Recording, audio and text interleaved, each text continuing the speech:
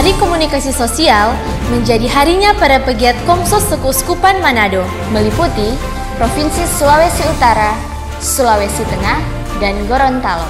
Dinamika dunia digital, multimedia, dan media sosial saat ini menjadi tantangan sekaligus peluang bagi pegiat Komsos untuk ambil bagian dalam tugas perutusan gereja untuk mewartakan cinta kasih Allah. Komisi Komsos Keuskupan Manado dalam tiga tahun terakhir ini menggerakkan para pegiat Komsos untuk terus berkreasi dan berkarya menjadi bagian dari karya pewartaan gereja. Tahun 2021, Komsos Family Gathering untuk pertama kali dilaksanakan di Paroki Santo Antonius Depa 2 Tata Aran. Tahun 2022 dilaksanakan di Paroki Kristus Raja Kota Mobagu.